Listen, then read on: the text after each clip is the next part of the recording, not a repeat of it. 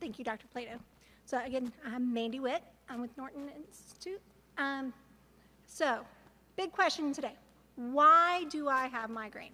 I hear this question probably two or three times a day in the clinic.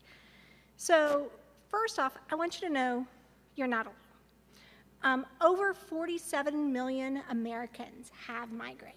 And like Dr. Plato just said, it's one of the most disabling forms of headache, and it's one of the main reasons why we see people.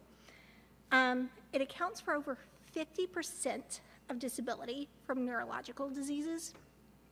And if you're a woman, eh, you're on with a good 18% of the population and 6% of men.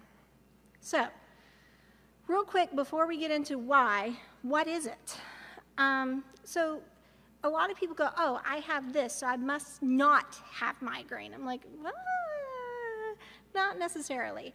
So, there's no single characteristic that defines what migraine is. You need two of four. Okay, so it can be one sided, throbbing, moderate to severe, and worsened with exertion. But you notice that 40% of patients have both sides, 50% non pulsating, 20% actually have more mild. And then the pain worsened by exertion, that's generally pretty common. Um, and then it needs to be associated with either nausea or vomiting and or, or photophobia and phonophobia, which is light and sound sensitivity.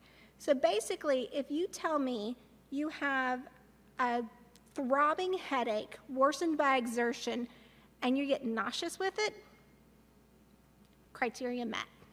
Like you don't have to have every single one of these. So, what are some other additional features? Just real quick, it's predictable. You normally go, oh, I have the same symptoms all the time. I have similar triggers. Sleep gets it better. I had some kind of weird thing in childhood. You know, oh, yeah, I always had that abdominal pain, vomiting when I was young. Um, I had dizziness. You know, they never did figure it out. And then as I got older, I've got these migraines. And then the, the weird smell. People tell me weird smells. So, what causes all that? All right.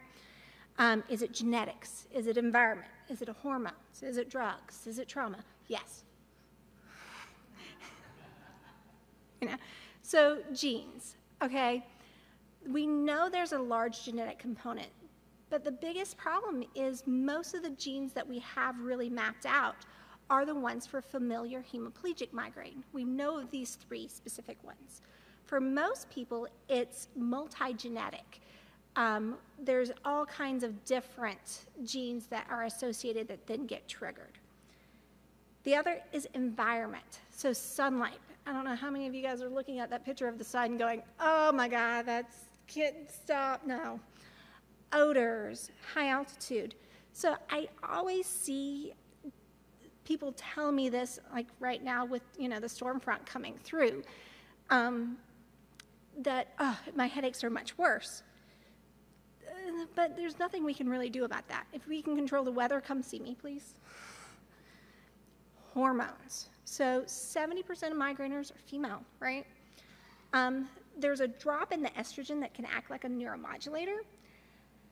Uh, then there's pregnancy, birth control, menopause. You ask me, oh, will they get better when I go through menopause? I don't know. It's all variable. And it's not as easy to alter these things as people think. So, drugs. You notice I have this blank underneath here right now, right?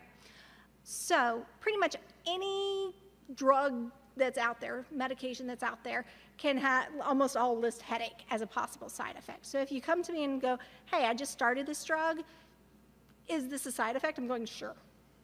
Uh, if you stop it, does it go away? No, mm, probably not the drug. But the biggest thing is medication overuse. So, this is the thing that most people don't realize or think. So, what this kind of headache is, is more than half the days of the month for over three months where you're taking one of the acute rescue medications.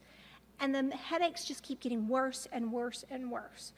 So, and if you stop it, the headaches actually get better. So, what are these drugs? they're the simple analgesics. They're your Tylenol, ibuprofen, um, aspirin. Um, they're some of the ones we give you, the Fioricet, um, Lortab, opiates, or, ugh. and even our triptans and DHE.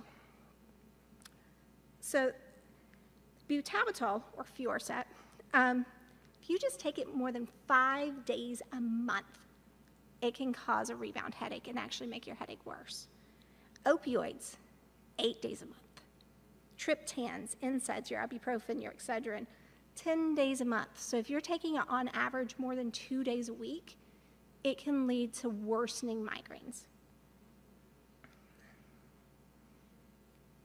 So um, opioids, a lot of people are going, but I need this. Well, mm. so it actually leads, this graph shows, um, so there's the, seeing if I can get the pointer to work here, the blue and this. So you see non-opioid dependent versus opioid dependent, it actually increases your headache days. Severe disability from headache, it not just makes them more, it makes them worse. It makes them more painful. And then you have the depression, the anxiety on top of it. So then trauma, okay? So everybody's going, well, you know, did I hit my head when I was younger? Is that why it was caused? A lot of people have remission of their post traumatic headaches after around six months. Um, three months, 78% still have ongoing headache. A year, 35%. At four years, 24% can still have ongoing. But generally, this headache starts right after the trauma. Um, to actually be classified, it needs to be started within a week. So, that's kind of the factors and stuff. So, what do we know about what does all this stuff do, or what is it, right? So, with migraine, you can get this prodrome. So, it precedes your headache, and it's part of the hypothalamus. So, your hypothalamus is involved. That's where you get fatigue, depression, irritability. Your brain stem's involved, tenderness, neck stiffness, cortex, the light and sound sensitivity and then the limbic system with depression and anhedonia. And then you have aura. Does that look familiar to anyone? Uh, yeah. So, migraine aura is actually a fully reversible neurological deficit, okay? Most commonly visual. And it's cortical spreading depression. So, think of an activation deactivation wave going from the back of your occipital up through your brain, okay? And so this is kind of just, if you ever want to look it up, this cortical spreading depression of Leão. Um, and it goes from the visual cortex up. So that's why people get numbness, tingling, all the visual symptoms. It's not the most fun. And then you have the headache, right? Light, sound, we already went over kind of the things. So, what causes all of that to happen? So, um, old school, we were taught about this vascular theory, right? Where blood vessels constricting, aura followed by dilation, pain. Doesn't explain all that prodrome. Not supported by blood flow studies. And why does an NSAID work then, right? They, they shouldn't. So this is not correct. So there's a neurovascular theory, and it's referred pain from the dura mater and blood vessels. And then you have the peripheral and the central processing.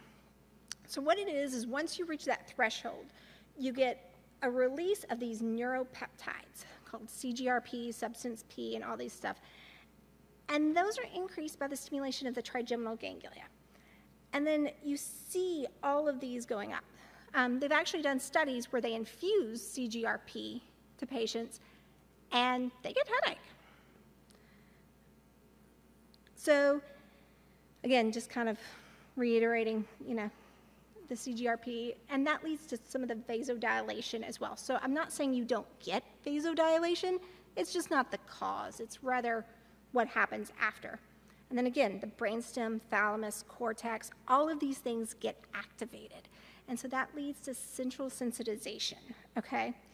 And after a while, you can get allodynia. So that whole, how does my hair hurt?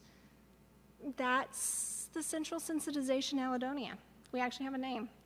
Um, I like this little graph just because it kind of shows where those neuropeptides are all getting released. So why do they then get more frequent? You know, why, why do they change? So 3% of patients actually transition from episodic to chronic migraine every year. And so what are some of those causes? Poor rescue medicines. They are not taking anything for it. The frequency, their headaches are just naturally getting more and more, and you have high frequent episodic, you're at risk of turning into uh, chronic, and then that pain when you touch your head. So you have that threshold lowered, stressors, triggers, episodic migraine, not getting good pain relief, or you're taking too much, and it just snowballs where you get that increased frequency. The medicines aren't working as well. You're taking more, then they don't work any better, and so then you just lead to chronic. So, what are some of the triggers, right? The stress, menstruation, sleeping issues, skipping meals, changing weather. Um, so, it's hard to tell. Um, I normally go, so they kind of stack up. And so when they st- are stacking up, it's hard to tell which one is it, as well as they can happen up to 72 hours before your headache. So if, you're, if you can tell me what you did 72 hours ago, I'm impressed. Um, and this is just kind of that whole threshold here. So, your brain. Why you have migraine? Your brain's a little more hyperexcitable. You have a sensitive brain, sorry. Not saying you're sensitive, but your brain is. And then um, you can get aura, which is the spreading excitation, depression, and then the trigeminal inflammation with the throbbing pain. So